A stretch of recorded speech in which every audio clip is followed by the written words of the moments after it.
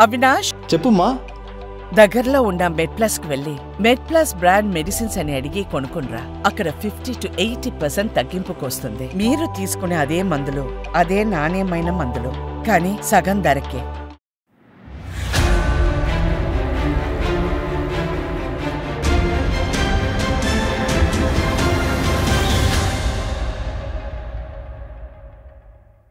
పద్నాలుగేళ్ళ వనవాసం తరువాత శ్రీరాముడు అయోధ్యకు తిరిగి వచ్చిన రోజును దీపావళిగా ప్రజలు సంబురాలు చేసుకున్నారని అనేక గ్రంథాలు చెబుతూ ఉన్నాయి. నరకాసురుడిని సంహరించటంతో ఆనందోత్సాహాల మధ్య అప్పట్లో అయోధ్యవాసులు దీపావళి పండుగను ఘనంగా చేసుకున్నారని మరికొన్ని పురాణాలు వెల్లడిస్తూ ఉన్నాయి. హిందువులకు అనేక పండుగలున్నాయి. అయితే అన్నిటిలోకి దీపావళికి ఒక ప్రత్యేకత ఉంది.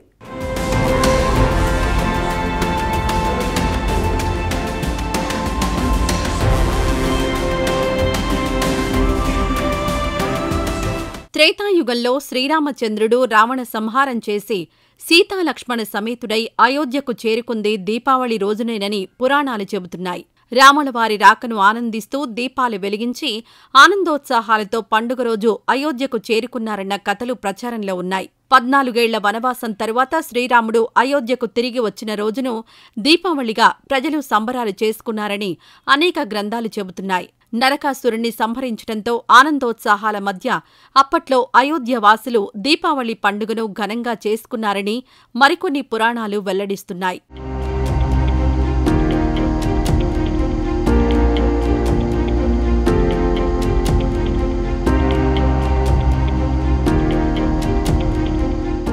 అంతేకాదు శ్రీ మహాలక్ష్మి విష్ణుమూర్తిని చేరుకున్న రోజు బలిచక్రవర్తి మహావిష్ణువుకు రాజ్యదానం చేసింది.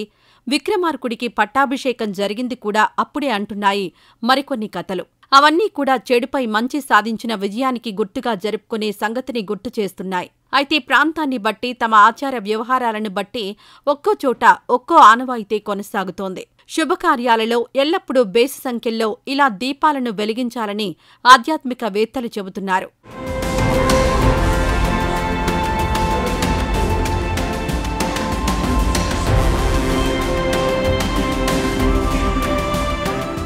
దీపావళిని దక్షిణ భారతదేశంలో నరక చతుర్దశి అలాగే దీపావళి ఇలా రెండు రోజులుగా జరుపుకుంటారు. అయితే ఉత్తర భారతంలో మాత్రం ధనత్రయోదశితో మొదలై నరక చతుర్దశి దీపావళి అమావాస్య బలిపాడ్యమి యమద్వితీయ అని ఐదు రోజులు సంబరాలు చేసుకుంటారు. దీపావళి పండుగ రోజున దీపాలు వెలిగించడం ఒక ఆనవాయితీ.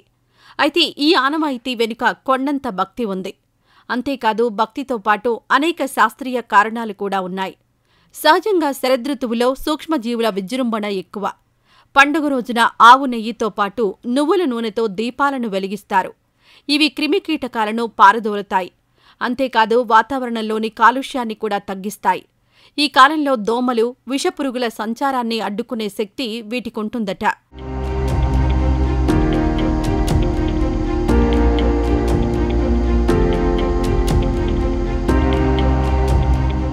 వాస్తవానికి దీపం పెట్టడం అంటే కేవలం నూనె నెయ్యిలతో ఒత్తిని వెలిగించటం కాదు.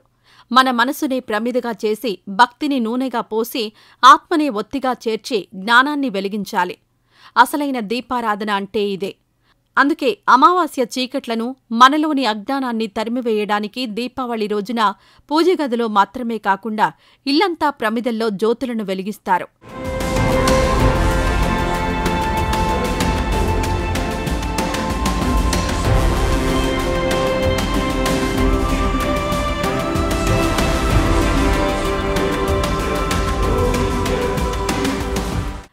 దీపావళి హిందువుకున్న ఓ గొప్ప పండుగ. దీపావళి అంటే దీపాల వరుస. చీకటికి అజ్ఞానానికి అలాగే నిరాశకు ప్రతీకగా ఉపయోగిస్తారు. అయితే కాంతి లేదా వెలుగును ఆనందానికి ప్రతీకగా ఉపయోగిస్తారు. కాగా దీపం ఐశ్వర్యం. అలాగా అంధకారం దారిద్ర్యం. దీపం ఎక్కడుంటుందో అక్కడ జ్ఞాన సంపద ఉంటుందని చెబుతారు పెద్దలు. ఈ జ్ఞాన సంపదనే లక్ష్మీదేవిగా అభివర్ణిస్తారు. అందుకే దీపకాంతులు మతాబుల వెలుగుల మధ్య దీపావళి పర్వదినాన్ని జరుపుకుంటారు. కాగా దీపజ్యోతిని మహాలక్ష్మి స్వరూపంగా అందరూ భావిస్తారు.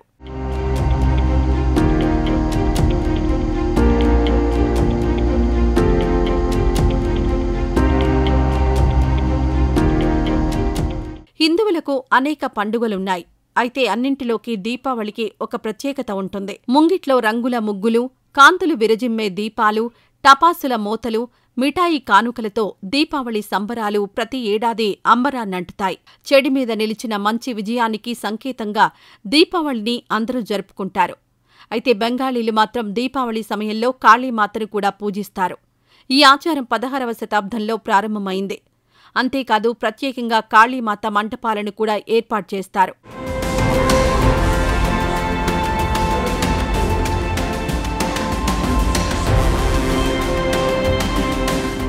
దీపావళి పండుగలో కొత్త దుస్తులు పిండి వంటలు టపాసులు మాత్రమే కాదు అనేక ఇతర అంశాలు కూడా ఉంటాయి. దీపాల వేడుకలో అందరూ జాగ్రత్తగా ఉండాలి. దీపాల పండుగ కాబట్టి ప్రమాదాలు జరిగే అవకాశాలుంటాయి. ఈ నేపథ్యంలో అందరూ సకల జాగ్రత్తలు తీసుకోవాల్సిన అవసరం ఉంది. సాధ్యమైనంత వరకు కాటన్ దుస్తులకే ప్రాధాన్యమివ్వాలి సింథటిక్ దుస్తులకు దూరంగా ఉండాలంటున్నారు పెద్దలు.